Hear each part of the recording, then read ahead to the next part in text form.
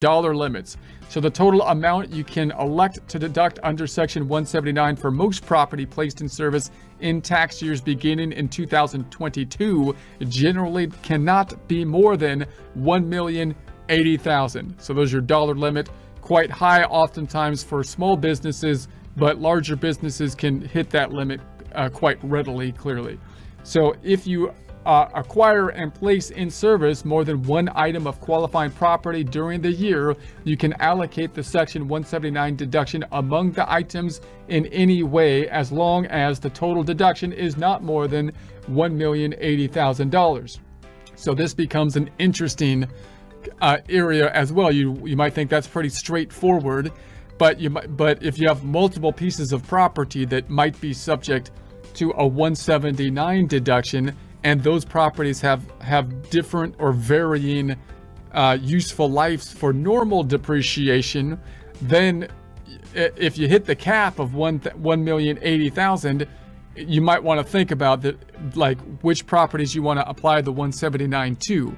You would think, as a general rule, you would like to apply the 179 to those properties that have the longest life of depreciation that that's applied to them, because then the ones that the, the property that goes over the threshold has the shorter lives, hopefully, hopefully, which means you'll still, under normal depreciation rules, get to recap the costs earlier than later as a general as a general rule, right? So that would be a if you hit the caps. You, so you, so it gets a little bit more confusing than just saying, well, we'll just apply the 179 just willy-nilly until we hit the cap and then go over it. You, you want to think about it possibly a little bit more in depth because there could be differences in future depreciation depending on the useful lives of the property.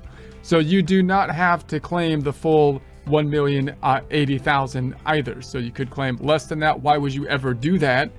Uh, why would you, if you had a ability to claim the 1,080,000, why would you ever claim some 179 less than that?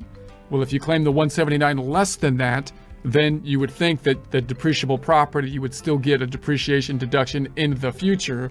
And you might be in a situation where if you take enough 179, it's going to take you below into a, a tax bracket that's lower due to our progressive tax system.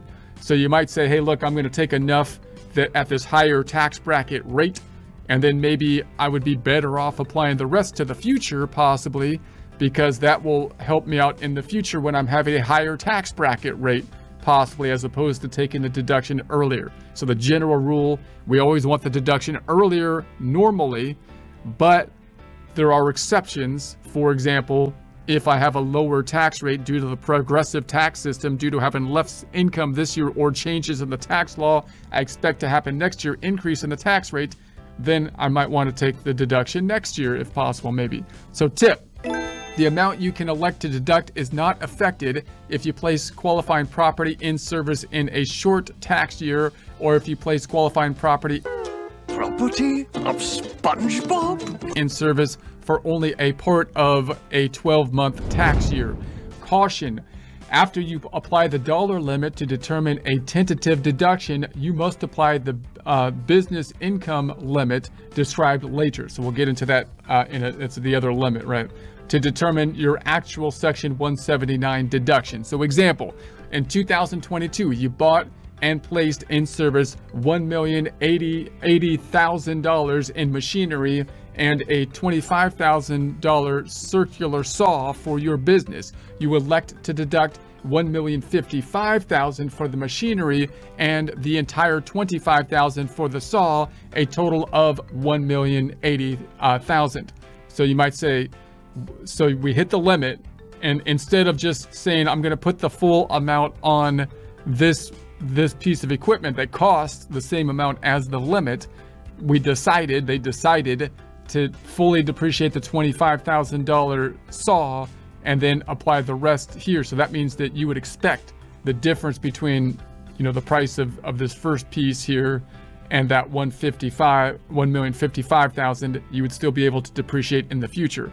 You would imagine that they could have applied all the 179 to the to the first piece of equipment and then have the whole 25,000 of the saw to go to go forward. What would be the difference between the two? Why does it matter?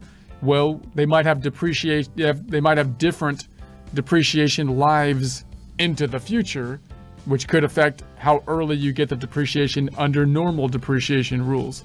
So this is the maximum amount you can deduct. Your 25,000 deduction for the saw completely recovers its cost. Your basis in depreciation is zero. The basis for depreciation in your machinery is 25,000.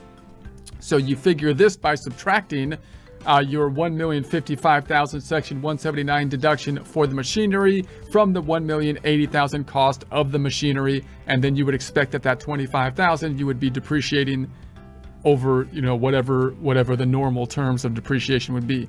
So situations affecting dollar limit. Under certain circumstances, the general dollar limits on the Section 179 deduction may be reduced or in, uh, uh, increased or there may be uh, additional dollar limits. The general dollar limit is affected by any of the following situation. The cost of your Section 179 property placed in service exceeds 2,700,000. You placed in service a sport utility or certain other vehicles. They always mess things up. You are married filing a joint or separate uh, a joint or separate return.